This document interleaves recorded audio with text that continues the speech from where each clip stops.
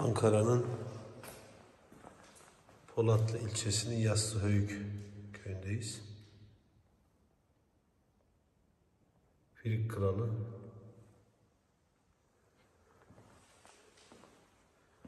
Eşek kulaklı Midas'ın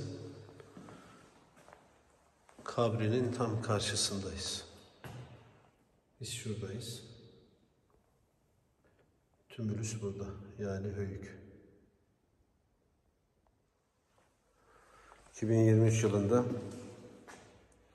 UNESCO Dünya Miras Listesi'ne kabul edildi. Ve müzenin ziyaretçisi her geçen gün artıyor. Buralarda değişti, güzelleşti. Müze böyle değildi. Daha önce de gelmiştim. Mescit, e, ayak yolu, hediyelik eşya satışı, çay kahve salonu, araba parkı inşa edildi. Yolları güzelleşti.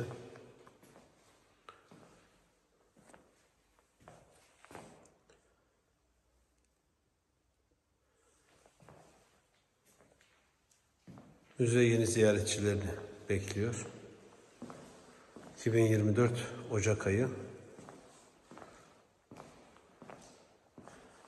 2009'da gelmiştim bu müzeye. Böyle değildi. Eserler aynıydı ama sergi böyle değildi. Sergi çok güzelleşmiş.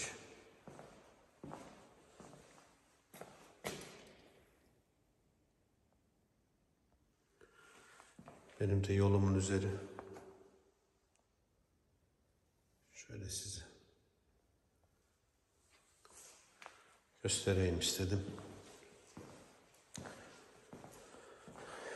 Bilimi, sanatı, kültürü, tarihi paylaşmak gerek. Çünkü bu insanlığın ortak değeri. Evet, Polatlı Höyü 1900 kassa mezar tipleri diyor. Bulunma şekli.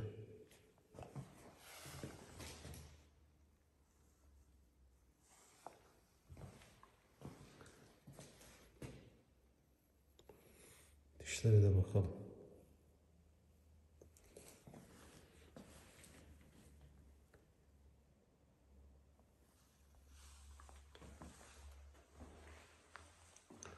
Nasıl bir coğrafyada nasıl bir tarihin üzerinde oturduğumuzu anlaması bakımından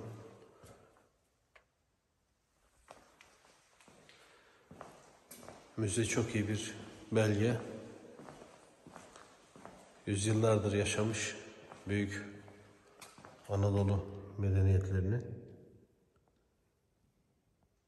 şimdi koruyucusu biziz.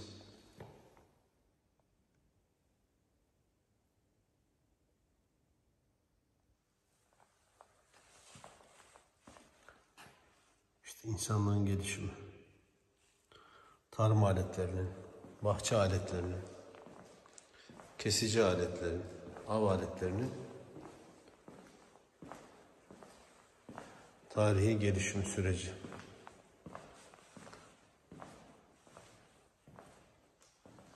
Müze çok düzenli, tek katlı.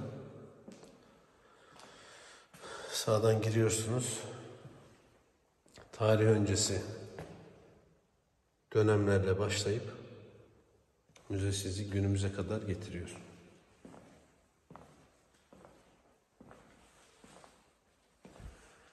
Yaşanan bu tarihi sürece sizler burada müze kartınızla ücretsiz girerek şahitlik edebilirsiniz. Müze kart bir yıllık her insanımıza, vatandaşımıza 60 TL karşılığında teslim ediliyor. Çocuklar için müze kart temin edilebiliyor ücretsiz.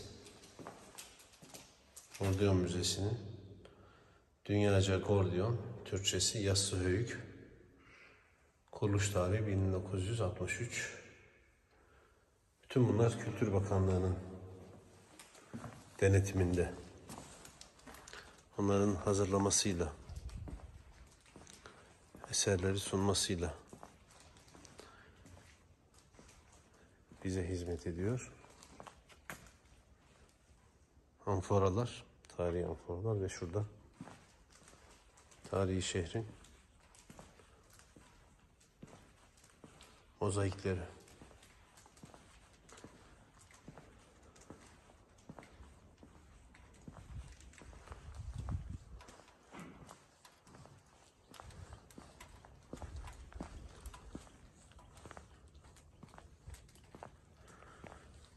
Güzel bir yerdeyiz.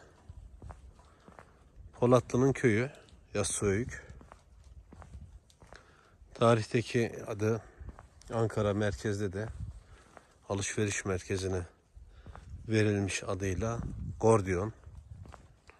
Esas Gordiyon burası. Etrafta birçok höyük var.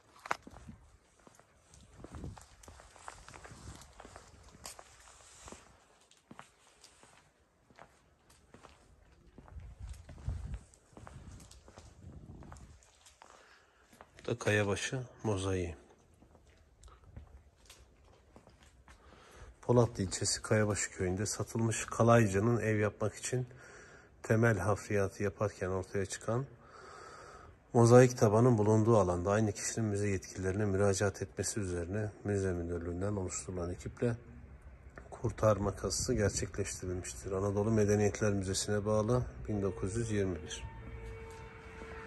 Galat Mezarı 1955 yılında Profesör Doktor Rodney Young tarafından kazı yapılarak açığa çıkarılan Galat mezarının devrinde soyguna uğramış olması araştırmacıları son derece üzmüştür. Ancak mezar yapım tekniğinin korunmuş olarak 1955 yılına kadar kalması Galatların Balkanlarda uygulanan bir mezar mimarisi tekniğini Anadolu'ya taşıdıklarını göstermesi bakımından çok önemlidir.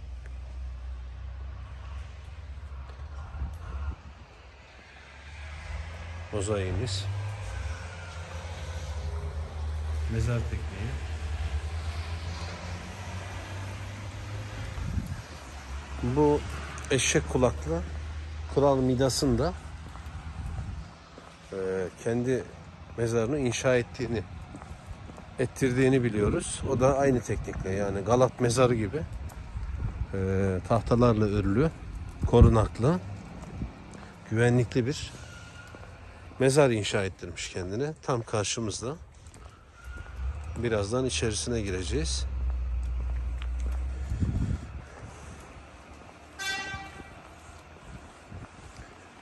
Tavsiye ederim. Yolunuz düşerse Ayaş tarafına, Polatlı tarafına, Sivrihisar tarafına, Canbeyli tarafına direksiyonu kırın ve gelin. Güzel, temiz bir müze sizi karşılamış olacak. Müzenin girişi, önü.